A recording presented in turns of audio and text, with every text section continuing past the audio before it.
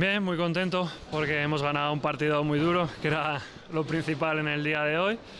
Y bueno, seguimos luchando hasta el final, hasta el último día, vamos a estar ahí. Sí, mucho, mucho cariño el que he recibido, seguro que más del que merezco y más del que voy a poder devolver. Así que bueno, agradecido a este grandísimo público, a este club, a mis compañeros y, bueno, pues hoy lo único que puedo hacer es dar las gracias a todo el mundo.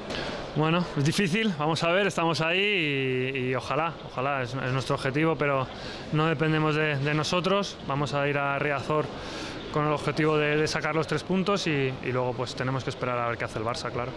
Sí, sí, evidentemente, evidentemente que sí, que lo que he hecho no ha sido para recibir esto, sino ha sido porque creo que, que es lo que tenía que hacer en, en cada momento y, bueno, pues eh, yo creo que la gente ha sabido valorar eh, medicación dentro del campo, fuera de ella y, lo que te digo es que, que solo puedo dar las gracias a, todo el mundo, a mis compañeros por, cómo me han tratado estos siete años, a todos los entrenadores que, que he tenido y, y bueno, sobre todo a la gente que al final son, son los más importantes. Bueno, yo he tenido la oportunidad de, de, decir adiós y dar las gracias, que era lo que quería y, y bueno, pues eh, yo creo que la gente sabe que cuando uno da, da todo y creo que, que ha sido mi caso, he estado aquí durante muchos años, he sido un canterano, he sido un aficionado que ha venido al estadio a ver a su equipo y que al final ha conseguido pues estar en, en la primera plantilla, así que bueno, soy uno de ellos. ¿Qué te voy a decir? No? Pues eh, significó mucho por, por, lo que decía en, en, cada palabra, por el gesto que tuvo y, y, por hacerlo donde lo hizo. Para mí, pues bueno, estaré agradecido de por vida a José. Como él dijo, pues somos más que jugador y entrenador, somos amigos y siempre agradecido, ¿no?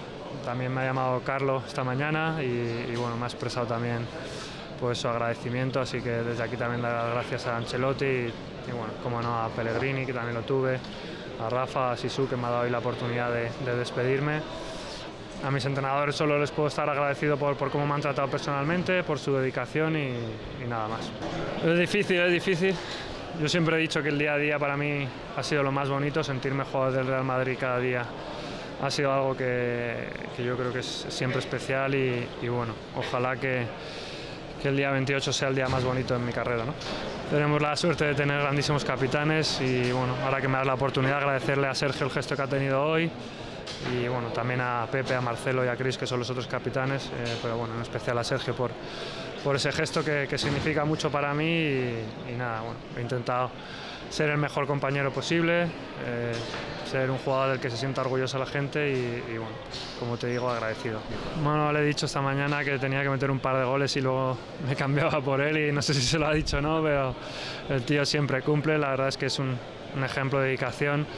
Para mí ha sido un, un orgullo entrenar con, con, jugadores así que son superhéroes. Es como ir cada día a la academia de los X-Men, pues ahí va yo siendo un, un tío normal.